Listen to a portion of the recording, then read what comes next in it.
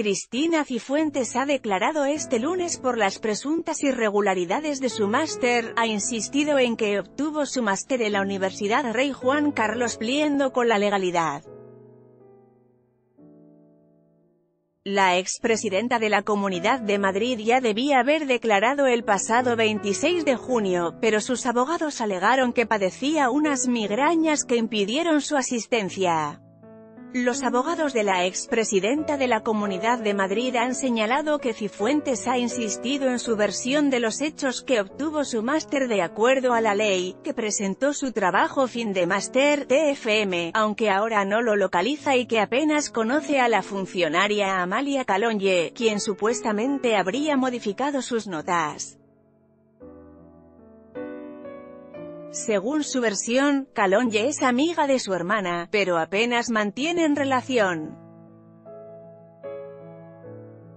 El máster de Casado Cifuentes ha respondido también a las preguntas formuladas sobre el ahora presidente del Partido Popular, Pablo Casado, quien también cursó un máster en la Universidad Rey Juan Carlos.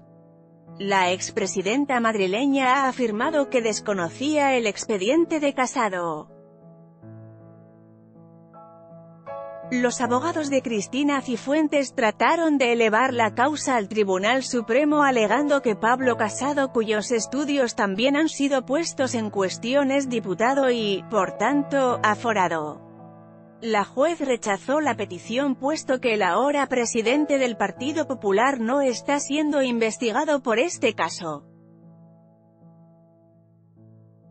La investigación Cristina Cifuentes ha declarado durante una hora y media en el juzgado de instrucción número 51 de Plaza de Castilla de Madrid dirigido por la juez Carmen Rodríguez Medel por la supuesta comisión de los delitos de falsificación de documentos públicos, prevaricación administrativa y cohecho impropio en la obtención de su máster en la Universidad Rey Juan Carlos dirigido por el catedrático Enrique Álvarez Conde.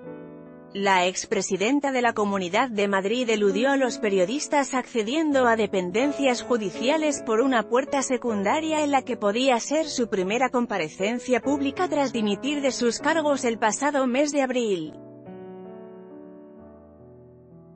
El caso trata de resolver si hubo irregularidades en la convalidación de las asignaturas en el máster de Cifuentes y las supuestas falsificaciones de las actas de su trabajo fin de máster, TFM.